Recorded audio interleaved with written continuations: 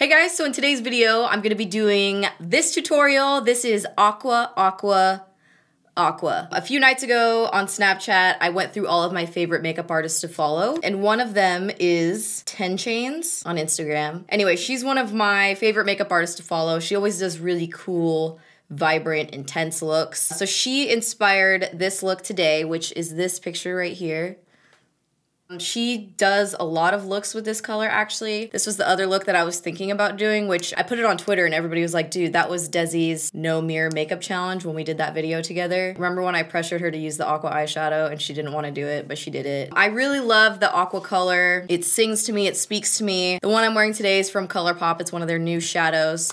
So yeah, this is the look I'm gonna be doing for you guys today. I'm also gonna be using all the products from this month's Ipsy Glam bag. So let's go ahead and get started. All right, so I'm gonna add a little bit of my Benefit Air Patrol Primer to start. This is mainly gonna be for like the upper crease area because I am gonna use some of the MAC uh, Prep and Prime on my lid. I'm gonna add a little bit of the MAC Prep and Prime 24 Hour Extend Eye Base to the lid because I'm using a ColourPop shadow and this primer works best on ColourPop shadows in my opinion. All right, so now I'm actually gonna start with the pop of Aqua, and I'm gonna be using a ColourPop shadow. This is the shade Belladonna Lily. Very bright, very pigmented, really cool aqua color, very fun for spring. And I'm gonna apply it using the uh, MAC 239 brush. It's a nice like uh, packing brush so you can heavily pack on pigments and shadows and stuff onto the lid. So I'm just gonna pack it starting in the front and then just kind of pulling it towards the outer corner of the eye.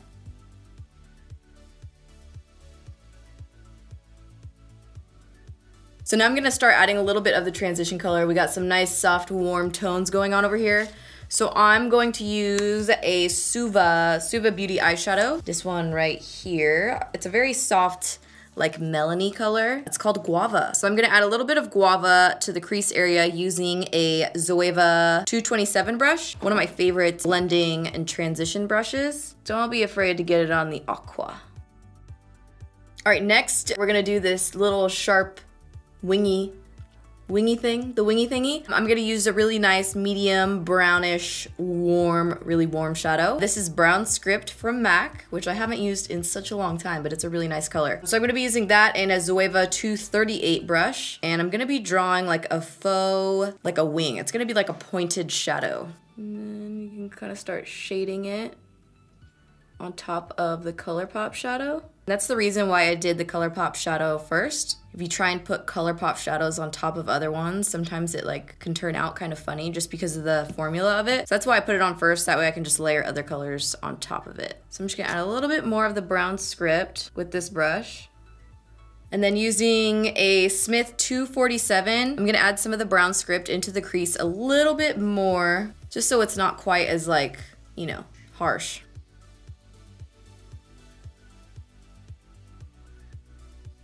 Then to make sure we get a nice even color distribution, I'm gonna blend out the crease using this Lab Square Just Blending In brush, just to buff all the colors together. All right, now I'm gonna build up on this that we have over here. And I'm gonna be using Fudge eyeshadow from Anastasia Beverly Hills. This is a really nice, very rich, rich warm brown that I'm gonna be using. So I'm just gonna be building up the color a little bit on the lash line and then pulling it out. And then I'm gonna add a little bit of black eyeshadow on top of that.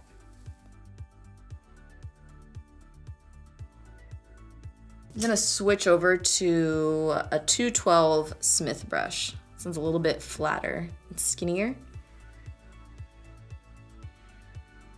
Just adding a little more brown script and buffing it into the aqua shade. Just kind of layer it on. All right, now I'm just gonna add a little bit of black eyeliner to the lash line. I'm not doing a full wing, just black eyeliner. And this is the, the NYX Matte Liquid Liner.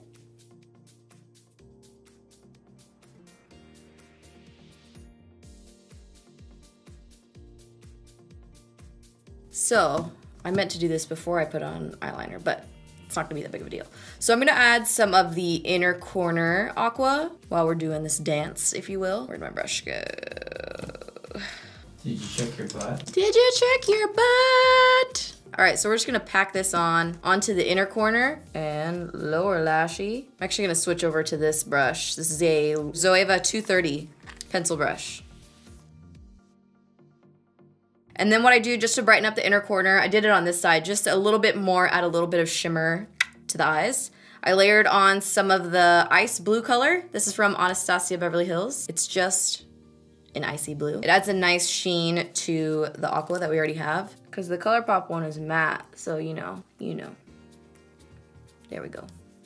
Mm-hmm. I'll put on just a spot of liner back on the inner corner in case I covered it up, which I don't really think I did, but just in case. All right, so now I'm gonna put on mascara. I'm going with the uh, Marc Jacobs one. It's been my jam lately, Velvet Noir. Okay, so now for lashes. I did use different lashes today. I did it. Finally, I know. These are the Ardell lashes number 113. Some other favorites that I have. And what I like about these, I don't have to worry about trimming them, which is nice. This side went on well. This side kind of played me a little bit. I had to redo this eyelash like on the low real quick. It was pointing like down. I didn't even realize it until I saw the other side. So I ripped it off, reapplied it because I just didn't have the time to have a wonky eyelash today. Didn't have the time. Now let's move on to the rest of the face, shall we? So I already had under eye concealer on, the IT Cosmetics one. If you're gonna put concealer on the inner corners of your eyes, like in that area, you're gonna wanna put concealer on first. Anyway, so now I'm gonna do foundation, and today I'm gonna try out, well, I've already worn this a few times. I know I like it. This is um the Maybelline Matte and Poreless Fit Me foundation, shade number 220, which I think will be a good shade for me today. All right, so I have my Beauty Blender, a little bit of my foundation, my foundation rules the nation. No. I really like this foundation. I'm not sure why I stopped using it. I'm really enjoying it right now. Do a little highlighting.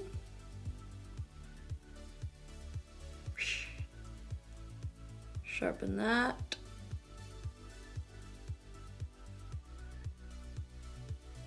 Then I'm setting the under eyes using the um, RCMA No Color Powder.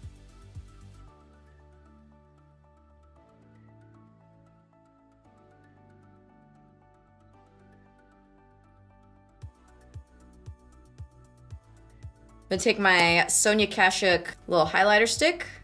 This is um, Sparkling Sands. Now I'm gonna add a little bit of highlight using the Tarte Skin Twinkle palette. And this is the uh, Luxie 522 tapered highlighter brush. Great for an everyday highlight. And just sprinkle. Now I'm gonna add a little bit of translucent powder. This is the uh, Tarte Smooth Operator powder. Just set my face. Just a light dusting. Now I'm gonna contour a little bit, and this is the uh, Makeup Geek contour powder, the color Half Hearted. This is a warm medium, and I'm using a Marc Jacobs, this is the blush brush. Sharp. Angles. Whoa, this looks very strong. I did a little too strong. Chris Brown. Chris Brown, Is this too warm to do on my nose?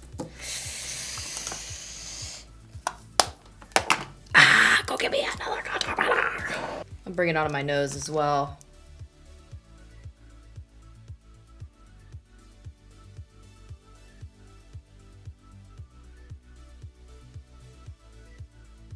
Now for blush, I'm gonna use this one from Elizabeth Mott. This is called Show Me Your Cheeks, and the color is Peach Pink. This is a nice, smooth, creamy formula, so I'm just gonna add this to my apples of my cheeks using an IB105 tapered blush brush from Crown. Now it's time to twerk out this lower lash line. What I'm gonna do, I'm actually gonna start with black. I'm gonna all the way across.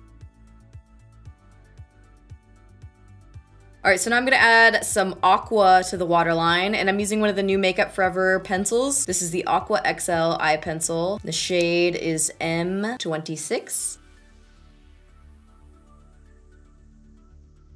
Now I'm gonna add my mascara to my lower lashes. Too Faced Better Than Sex, waterproof of course. All right, so now for lips, I'm gonna do two different options for you guys. So the first one is the Tarte Lip Surgence Lip Cream in the color Wonder. This is an ultra moisturizing full coverage lip cream. It's actually very full coverage. It's a lot more full coverage than I was expecting. Most of the time, chubby lip pencils are like sheer. This one has a nice full coverage, which I can appreciate. So here is option numero uno. So I'm also gonna show you a nude option using the MAC Strip Down Lip Liner Peach Stock lipstick from MAC. And then the Please Me, this is just so much MAC lip product. Please Me lip gloss. You know what, I'm actually gonna add a little bit of the uh, fudge to my lower lash line just to diffuse the black cat eye a little bit. Woo! All right, so that wraps up the makeup tutorial, and I did want to show you guys the rest of the stuff that I got in my glam bag from this month. So the first item is the nth degree smoothing Moroccan argan oil and keratin hair serum. This will help your cuticles and smooth split ends, which I have many split ends. Just a little oil on the tips, smooth them in the ends of your hair. I mean, the ends of my hair goes all the way up here because I have so much broken hair right now, you know? I need to put oil all over my whole head is what I really need to do right now. All right, so the next item I got is the Briogeo Don't Despair Repair. This is a gel to oil overnight repair treatment, which is good. I always sleep with oil in my hair all the time. And the last one I got is the Tula Exfoliating Treatment Mask this one. And this is a mask that will help to brighten, hydrate, and even your skin tone. All right, so that wraps up this makeup tutorial. Let me know what you guys thought in the comments down below. I really hope you guys enjoyed this video, and thank you so much for watching.